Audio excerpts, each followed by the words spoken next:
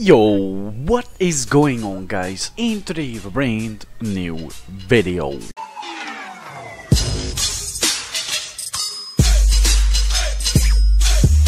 And today we are going to talk about the top 5 myths about Overwatch.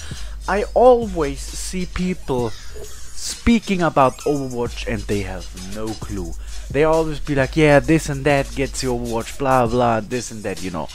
But today we are going to break down all Overwatch myths.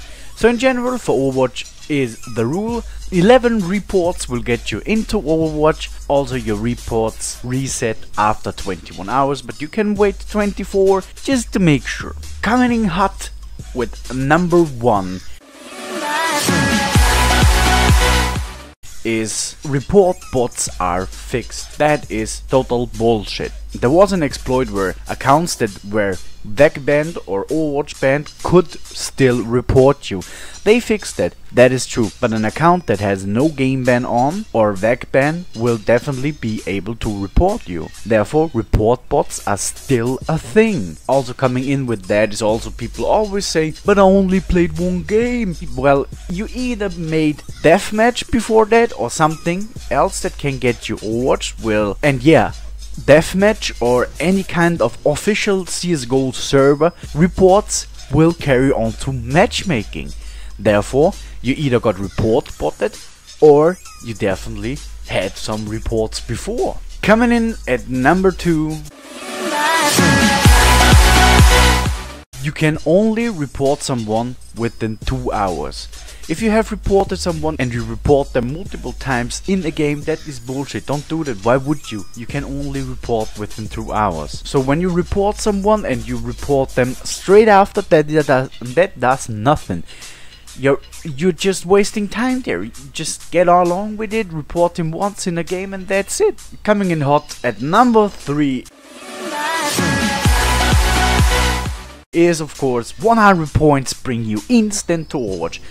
Bullshit, bullshit, bullshit alert. I played a lot of matches recently where I had 120, 130, 150 points and it did not get overwatched. So 100 points do not get you overwatched.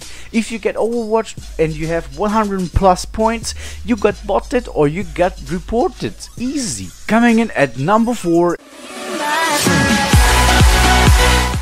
is AAs or anti-aims are detected. Bullshit. I don't know who told you that and I don't know who started that but that's bullshit. They are not detected. I raged 7 games in a row on stream and did not get into Overwatch. Why would that make sense then? And yeah, I mean full on rage. Like spinbot, everything, you know? Literally everything and I did not get Overwatch. I had to rage 8 more games, plus 2 people had to report about me, and my team had to report me until I got Overwatch after the 8th game. So no, spin botting is not detected. Coming in at number 5. And the thing that I always hear is spin botting or any kind of anti-aim will instantly get you into Overwatch. As I said before, that's bullshit. Don't believe that and whoever tells you that he's just a fool or yeah, he just tries to, I don't know, be smart or something, but he isn't. So you can show him this video and tell him, dude, you fucked up, but no, that's not the truth, mate. So yeah, I hope you all are a bit smarter now and yeah, if you are and if you enjoyed the video, please thumbs up that shit and of course enjoy the Inca boys. Devil,